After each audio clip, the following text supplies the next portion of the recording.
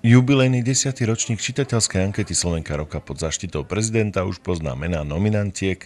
Týždenník Slovenka už predstavil 28 úspešných Sloveniek nominovaných na titul Slovenka roka 2018. Samozrejme, že vyhlásovateľom ankety je týždenník Slovenka, ktorý oslavuje 70 rokov a paradoxom je, že práve dnes vyšlo prvé číslo 20. februára.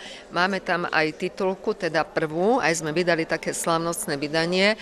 Adeptky na titul Slovenka roka vybrala nominačná komisia pod vedením ministra kultúry Mareka Maďariča. Táto anketa má veľmi jednoduchú a, a peknú myšlienku nachádzať, vyzdvihovať, prezentovať príbehy úspešných, schopných žien a aby sme tými príbehmi inšpirovali ďalšie ženy a toto sa 10 rokov veľmi dobre darí. Súťaž e, Slovenka roka, je 10. ročník, je e, pre mňa veľmi dôležité podujatie a chcem týmto aj pogratulovať eh, časopisu Slovenka k 70. narodeninám. Je je to až priam neuveriteľné, že jeden titul mediálny dokáže tak dlho vychádzať. Titul Slovenka roka udelia vo 8 kategóriách. Biznis a management, umenia a kultúra, média a komunikácia, veda a výskum, vzdelávanie a podpora mladých talentov, zdravotníctvo, šport a charita. Ja musím povedať, že tieto mesiace, ktoré boli, tak e, boli naozaj také pomerne divoké, čiže som zažila rôzne vyhrážky, rôzne strelby a práve kvôli tomu, že pracujeme na rôznych investigatívnych e, kauzách a vtedy je to také prirodzené, že pre každého človeka, obzvlášť pre ženu, to niekedy býva ťažké. Čiže mne, keď e, Mária Rehaková telefonovala a mi povedala, že ma teda nominovali, mňa to dojalo, ale musím povedať, že mi to dodalo silu.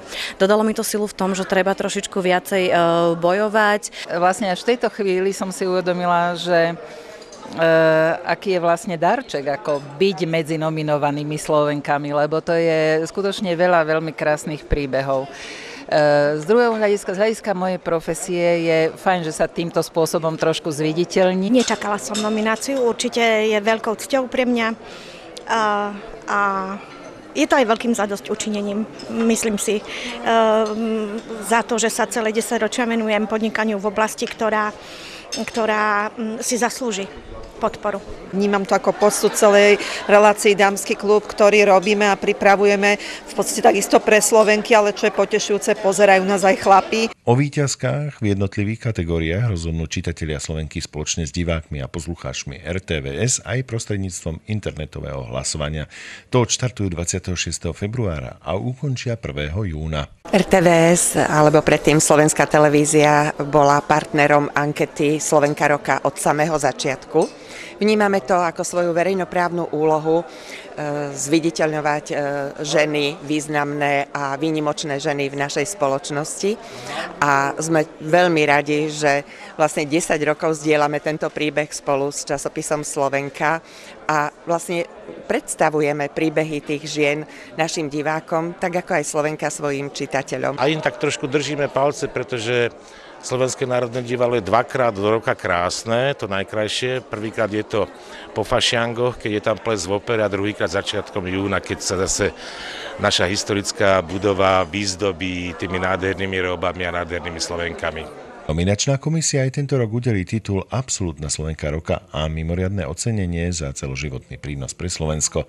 Zaujímavosťou je, že počas desiatich rokov už takto predstavili 278 Sloveniek. Samozrejme to ocenenie určite prispieva aj tým ženám k zlepšeniu e, svojho sebavedomia, zlepšeniu sebadôvery a určite je príkladom pre mnohé mladé dievčatá, ktoré sa rozhodujú, čo v budúcnosti budú robiť. Mená víťaziek sa verejnosť dozvie 4. júna počas gala večera v historickej budove Slovenského národného divadla. Ten v priamom prenose odvysiela RTVS. Finálovým večerom bude diváko sprevádzať dvojica Ján Koleník a Juraj Bača. Pre TV Vega William Šuška.